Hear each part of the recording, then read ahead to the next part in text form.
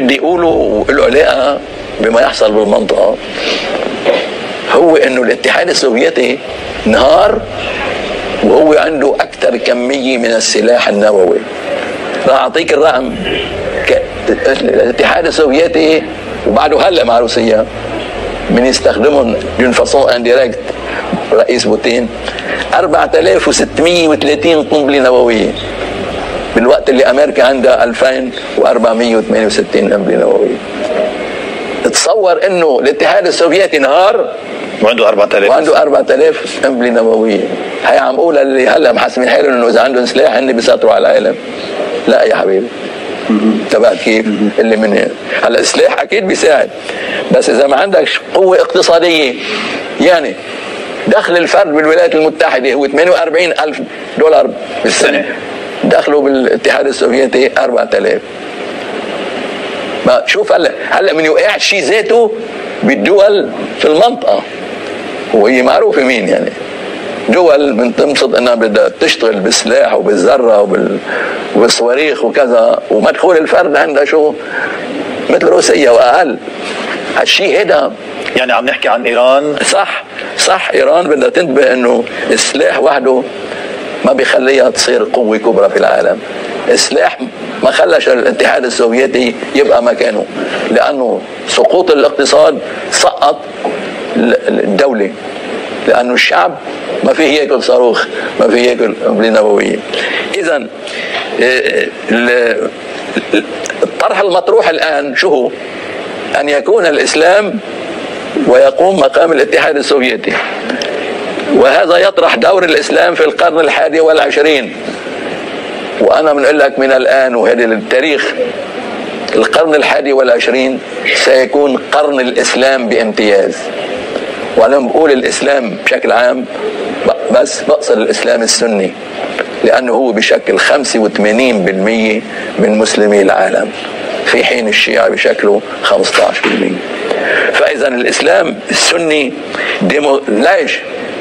القاعدة الكبرى اللي تحتها بدي أحكي الآن معك اليوم هي التالية. إن الديموغرافيا هي التي تصنع التاريخ. إن الديموغرافيا هي التي تصنع التاريخ. وبما أن العالم الإسلامي يتطور ديموغرافيا بشكل متسارع أكثر من كل الشعوب ومن كل الديانات وسيصبح الإسلام الديانة الأولى في العالم في هذا القرن فيصبح الإسلام له الرأي الأساسي والأكبر في تقرير يعني اليوم أستاذ آه، دكتور نبيل خليفي نحن عندنا حرب ديموغرافية هناك سباق ديموغرافي في العالم وأقصد بالكلمة سباق. نعم. مثل كان عندنا سباق في التسلح اليوم صار عندنا سباق. سباق في الديموغرافيا صح. صح. يحاولون للسيطره على العالم. للسيطرة على العالم. إذا هذا الديموغرافيا فإذا أنت ما كنش يعني ناقض الشيء اللي قلته قبل. لما تجي الديموغرافيا هي الأساس. حط حد الاقتصاد وقف العمود. شفت كيف؟ هلا راح نشوف إلى أي مدى؟ في تناسق بين الديموغرافيا وال- والاقتصاد. آه، آه، تصنع التاريخ. اذا القرن 21 قلت لك هو قرن الإسلام. الديانة الإسلامية ستكون الديانة الأولى في العالم. ديموغرافيا. بعدين خلينا نكفي الاقتصاد. ثلثي احتياط الطاقة في العالم موجوده في العالم الإسلامي. تل- تلتين يعني 65% من النفط والغاز في العالم موجودة في المنطقة الإسلامية. هذا بيعطيك الاقتصاد. ليش بده يقوى؟ نعم. لما بيقوى ال- الديموغرافيا. الاقتصاد موجود حدا.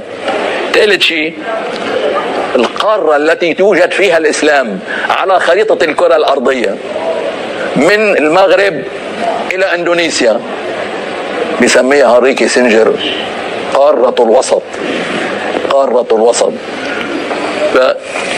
وبيقول بكتابه إن من يسيطر على قارة الوسط يسيطر يسيطر على العالم. من هون بيعتبر حاله انه أمريكا لازم تسيطر على قارة الوسط مش من يقول هيك ويتشجع عرفت كيف يعني؟ المسلمين. فبالتالي لازم يعرف هذه بعدين هذه الديانة الإسلامية هي ديانة حية بإيمانها وإيديولوجياتها يعني عندها ديناميك مثل ما بنعرف. شفتم كيف بيصلوا المسلمين. آه، اجمعهم هودي الخمسه الديموغرافيا والاقتصاد والوسط والحيوية. بتشوف شو مستقبل القرن الحادي والعشرين. يعني هو مستقبل إسلامي. سيكون فيه الإسلام على الأقل هو الجهة آه التي تقابل الولايات المتحدة في النظام العالمي الجديد للقرن الحادي والعشرين وأكثر. طيب الصراع اليوم شو آه، دكتور نبيل؟ نعم. صراع لعدم سيطرة العالم الإسلامي على العالم. صح. ما يحدث الآن أستاذ أنت أكيد قلت لي الشيء اللي بيدل على آه، ذكاء في الاستنتاج. الآن كل العالم كل العالم. أنا كتبتها بكتابي آه، استهداف أهل السنة. المقدمه حطيتها تحت عنوان كل العالم في مواجهة أهل السنة. وحطيت كل الأقليات. وحطيت اليهود واقليات الشيعيه كل الشيعة. وحطيت المسيحيين بالدول المسيحية الأرثوذكسية. ما هلا لشو بيعمل علاقات بوتين. علاقاته إلها علاقة بهالموضوع. كمان والكاثوليكية. وهون بدي أقول لك شغلة بالكاثوليكية. والأنجليكانية والبروتستانتية الأمريكية. كل هؤلاء يخشون الآن من الديموغرافيا السنية. ويحاولون أن يواجهوها من الآن بالطريقة المناسبة. تما بعدش يوصل وقت ويكونوا أخذوا على حين غرة. بالطريقة اللي بيقول عنها. كيف الهجرة الإسلامية السنية إلى أوروبا؟ أيضا تأتي في هذا الإطار. صح. عم نحكي يعني عم نشوف على مواقع التواصل عم نشوف على التلفزيونات هذه الطحشة إذا جاز التعبير خاصة في بلجيكا. هناك حديث عن يعني آه، محاولة لإقفال كنائس داخل بلجيكا. كل كل شيء. هيدا ضمن الصراع الديني. الصراع الديني. صح. الصراع الديني. هلا بطل في